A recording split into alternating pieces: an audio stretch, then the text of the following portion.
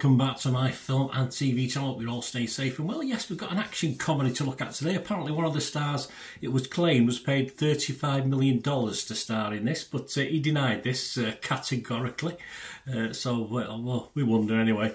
Uh, interesting, they do put the budget on Wikipedia. They do quite quote the budget. It's been anywhere between 85 million and 200 million. Uh, 85 million is far too much for what we get, but uh, you can understand if they're paying out wages supposedly of 35 million, then uh, yeah, you can see how they got to that. But anyway, it's not such a massive iconic film that warrants such a big budget in fairness. It's for me it's a, a pretty competent straight to streaming film but that's about it. What are we talking about? Well i'm talking about wolves and that's what we'll talk about today. A 15 certificate 108 minutes uh, runtime written directed by Jon Watts, and it stars, of course, and I don't know which of these got the 35, alleged 35 million, Clooney, Brad Pitt, Amy Ryan, Austin Abrams, and Poorna Jagannathan. Probably Puma got the uh, $35 million, who knows? But uh, yeah, we'll have a talk about that today. Please, guys, uh, if you are new to the channel, uh, please push that subscribe button, push the bell notifications. Uh, it'd be great to have you on board. I do, film, I do football stuff as well for my football team, Manchester City. If you're interested in that, if you're not, there's loads of film and TV stuff. Don't worry about it. Reviews like this or information vlogs. So uh, please jump on board and enjoy. I try and inform. We had the odd quiz thrown in as well. I did a quiz uh, a couple of weeks ago. So you want a bit of movie, TV fun, quiz wise. Uh, yeah, join, join us, guys. And if you do know anyone interested in the football side, just give me a kick in my direction. Uh, to support the channel as well, subscription. We do have sponsors at the moment. There's a link in the comments below to their eBay shop where they sell movie posters and DVDs. A little firm called pyat6505. They've been around for a long time, got 100% feedback on eBay, over 12, 13 years on there, so you can buy with confidence, guys. And if you do see anything you there on there you like, uh, just mention me and you'll get an extra 10% off as well. So they dispatch it in 24, 48 hours. So uh, if you're interested in sponsoring yourself, this channel or the football channel or both, uh, please get in touch. But currently my thanks to pyat6505. Also to help me out, you can watch some of the ads. Uh, just go on your phone while it's flicking through that helps me out even if you follow a link even you know I've, I've done it myself I've watched other people's vlogs and I've followed a link for something oh I like the look of that uh, that all helps, of course. And yeah, if you can just help me out by giving us a like, that, would be absolutely wonderful as well. So uh, yeah, I think we've got a Halloween like up there because I'm, I'm, recording this two or three weeks before uh, Halloween arrives. Yep, so it's plot. Well, it follows two professional fixers. So these these are the guys, if something goes wrong, they, they come and clean it up for you. They sort it out, a bit like the cleaners. Um, is it a bit like the cleaners? No, probably not. No, that's a more official, isn't it? The cleaners on the on BBC TV. But uh, anyway, these do it in a little illegal way. The, the proper cleaners do it in a, in a proper way, of, of course. But these these are sort of more covering for your politicians or gangsters who've done something wrong and they want something cleaning up. So these two are forced to work together on a job, uh, despite the preference to operate as lone wolves, or is it lone wolves? I don't know. It's confusing, but uh, there is a reason for the wolves. It's because obviously they're still still independent, even though they're working together makes some sense, I suppose. The tagline for this film, they're not partners, they're not friends, they're wolves. There you go, so uh, Bark at the Moon. This is released, of course, on Apple TV Plus, which uh, uh, surprises me the amount of money that I suppose has been spent on it. On September the 27th, I'm doing this review on the 8th of October 2024. So, all comments and anybody else's comments, which I'll give you later on after my summation of this, uh, are as at that date. Chemistry, yes, chemistry between the two. As you'd expect, it's worked before, hasn't it? Think uh, Ocean's Eleven, etc. But there's been a few other people involved as well. Uh, and if you like Clooney and Pitt, what's not to like uh, for fans of Clooney and Pitt? It's as simple as that. They're both on screen. Uh, for this feature, though, for me personally, there was just too much alike. Yes, one's a little bit more cockier. I'll leave that to you to decide which one.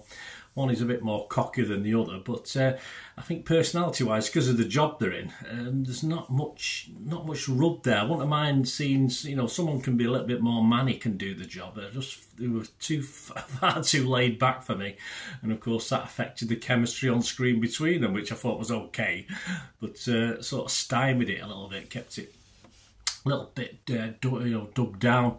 Uh, Humour, which is supposed to be in a comedy thriller like this, again, it, I think it works if you think these guys are wonderful, wonderful. But for me, it was all a little bland and a little bit samey. Some of the action humour we've seen time and time again in previous uh, incarnations of these sort of films, Mr. and Mrs. Smith. You know, there's action comedy involved. Um, and we've seen it all before. There's nothing in this uh, that you think, oh, that was different and funny. Uh, I just didn't laugh. Simple as that. I might, I might have smiled once or twice, but it could have been wind. I'm not too sure. So no, the humour, even though again two great actors, didn't quite work for me, and the film length it was just too long. Yeah, I, I, found I found myself switching off when I was watching this, waiting for some little deviation in plot, and there was some deviation in plot. You know, you, you thought watch start watching the first fifteen minutes, you think, well, are they to sort of move this around a bit, and they do, as you'd expect in an action film, because it's classed as an action film as well. But it, it was sort of, as I said, beyond the. It was just the formulaic, and it didn't get any further than that. And yeah, actors, uh, other actors, about other actors. There's actually a couple of guys in this that I won't mind seeing a bit more of in, in the film. Of the lady at the start, and there's a, a lady sort of who helps the fixers later on in the film. I don't want to give too much away, but wouldn't mind seeing a bit more of them rather than, uh, of course, uh, the two main protagonists. But sadly, overall, I did grow a little bit bored with this, and that ending, well the Butch Cassidy and Sundance Kid ending was just a little too much for me. I just, I just, I just sighed. I just thought, oh please, um, you know, it's a homage, of course it is, but if it's just absolutely total lacks any sort, any sort of thought for me. It was just, and, and a lot of this film did for me. It was just by the numbers, by uh, you know, taking bits and pieces from all over the place. For fans of it, there is a sequel planned, so fill your boots. Uh, I won't be in any rush to watch that unless it's a lot better and perhaps a few more characters added to the mix.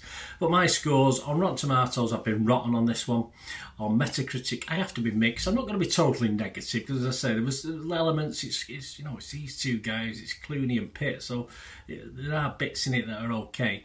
And even my score, I, I am going to give it a score, but I'm just going to give it my minimum score because, as I said, it, knocked half an hour off it. I thought I might, I think I might have liked it, as long, as long as he'd not the best, the worst half hour out of it, and not took some of the other bits that I liked out of it it was all right uh, as a as a thing to watch on streaming rather than going to to a cinema, which I would have been disappointed if I'd gone to watch this as a cinema. So I am going to give it a five out of ten, but that's uh, seemingly low to some of the people. So I am being a bit, uh, you know, being a bit negative. Some people are being a bit more positive. Let's have a look at some of the other thoughts. Rotten Tomatoes. 5.9 out of 10, so a little bit, uh, you know, like if a film gets 6 out of 10, I'm quite impressed. That's 113 fresh, but a big chunk of rotten, almost half, 53 rotten. The consensus reads Clooney and Brad Pitt's professional star power gives Wolfs zip even when it cycles through cliches of the fixer genre, making for a pleasing and slick throwback. Metacritic, yeah, 60 out of 100, so 60%. That was based on 51 critics. 31 were positive, 17 like me were mixed but three were negative. Some of the positive comments from various critics include Wolfs is classy, smart, fun, and engaging storytelling, a solid film. Someone said a faultless sense of timing, and it becomes a gift that keeps on giving in the hands of Clooney, Pitt, and a fine supporting cast. Well, I agree with the fine supporting cast bit. Wolfs isn't just funny, it's funny in all the different ways it needs to be. Thankfully, someone has come to the not hard to deduce realization that Clooney and Pitt are good together. Yeah they are, but a little bit more if I wanted. This used to be a typical Friday night at the movies, and now it's a rarity. Know, perhaps typical, the Friday nights have moved on. Some so-so reviews. Not even the star power of Clooney and Pitt can elevate this beyond the level of a passable, disposable thriller. For those looking for an easy on the eye, brainy neutral thriller, Wolf still hits the spot. Yeah, there are few movie stars as straightforwardly enjoyable to watch as Clooney and Pitt. But the film, hmm.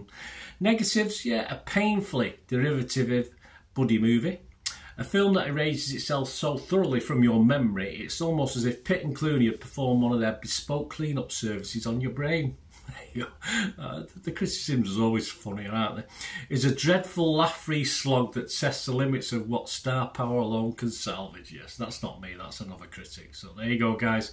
Uh, about the users, Joe Public, Rotten Tomatoes users, not overly infused, 49% positivity, but we got 3 out of 5, so we're getting up to 6 out of 10. Metacritic users again 6.2 out of 10, all good.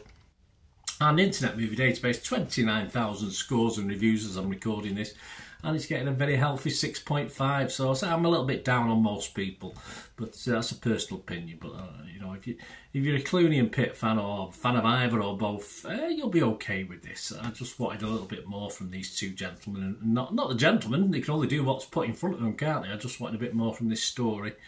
And as I say, if they had slightly more varying personalities, I think it could have been made a little bit a little bit better, but hey, that's just my opinion, and that's what it's all about, isn't it? And we can't all have the same opinion. Let me know what you think anyway, guys. If you're a big fan or you're not of uh, and Pitt, who isn't, um, just let me know. It'd be great to know your views on this as well. My socials are on screen there, so if you want to get in touch about any ways of supporting the channel, uh, please do so. I'd love to hear from you, as well as hearing about this film or anything to do with film and TV. So it's great to to have to have a chat, and I'll, I'll try and respond, or I do respond uh, to, as long as I don't miss the messages, which I do sometimes uh, to any anything you have to say. So it'd be great to hear from you. To me again, only a last one thing, don't I? Please stay safe, everyone. Bye for now.